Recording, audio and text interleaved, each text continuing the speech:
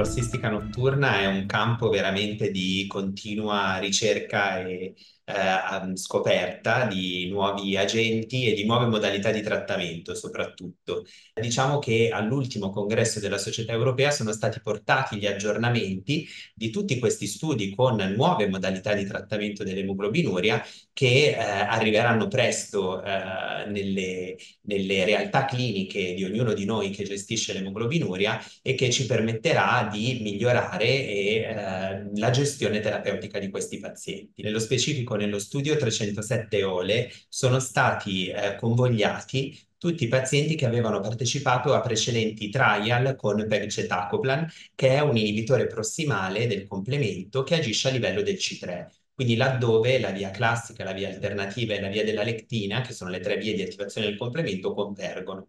Questo farmaco si somministra per via sottocutanea due volte alla settimana e quindi il paziente può somministrarlo da sé al domicilio, quindi è particolarmente convenient per il paziente, si tratta di un'infusione sottocute della durata di circa un'ora. Eh, questi pazienti che hanno partecipato ai precedenti trial sono stati poi convogliati in questo studio OLE sta per ehm, Open Label Extension, quindi un lungo follow-up di estensione di questi protocolli e eh, sono stati riportati all'ultimo congresso della Società Europea i dati aggiornati a oltre 48 settimane di trattamento con pegcetacoplan all'interno di questi studi e diciamo che i dati aggiornati sono davvero interessanti perché eh, confermano l'efficacia di pegcetacoplan in questi pazienti nel migliorare i livelli di emoglobina e nel poter dare addirittura una quasi normalizzazione dei livelli di emoglobina in circa il 40% dei pazienti, quindi un dato assolutamente importante. E la capacità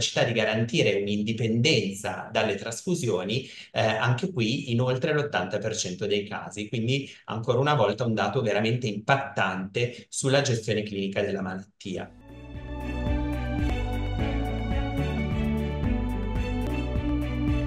Quando parliamo di inibitore prossimale del complemento, ehm, pensiamo già che stiamo inibendo un meccanismo fisiologico di protezione nei confronti di agenti infettivi, ovvero la cascata del complemento, in maniera un po' più, eh, come dire, marcata rispetto all'inibizione che eh, attuiamo con gli inibitori del C5, perché blocchiamo la cascata del complemento più prossimalmente. Eh, c'è da dire che tutti i pazienti trattati con inibitori prossimali del complemento all'interno degli studi clinici venivano vaccinati con ehm, dei vaccini antibatteri capsulati, non solo rivolti contro il meningococco, che classicamente viene profilassato anche nei pazienti trattati con gli inibitori del C5, ma anche con eh, vaccini antipneumococco e anti-Hemophilus influenzae, proprio come si fa nei pazienti eh, sottoposti a splenectomia. Quindi sicuramente una copertura vaccinale più ampia può avere un impatto favorevole nel eh, non osservare poi eventi infettivi da parte di questi agenti.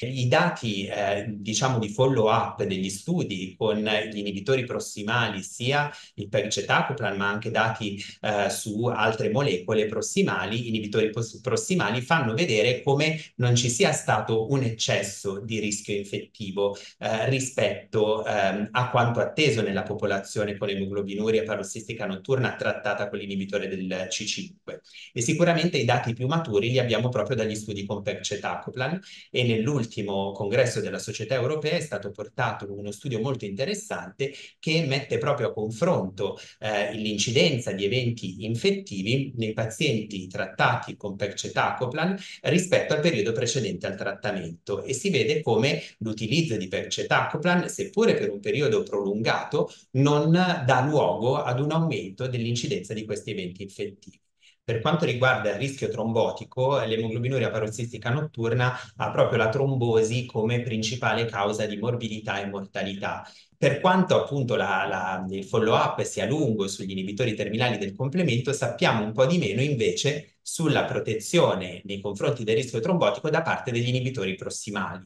Per cui è necessario continuare a raccogliere dati sia dai trial clinici che eh, dati real world che ci facciano capire quale sia la protezione che questi inibitori prossimali possono dare nei confronti del rischio trombotico. Ebbene, all'ultimo congresso della Società Europea sono stati riportati dei dati eh, aggiornati eh, e real world sull'utilizzo di pegcetacoplan che mostrano come questo rischio trombotico sembra essere ben controllato anche con l'inibitore prossimale pegcetacoplan.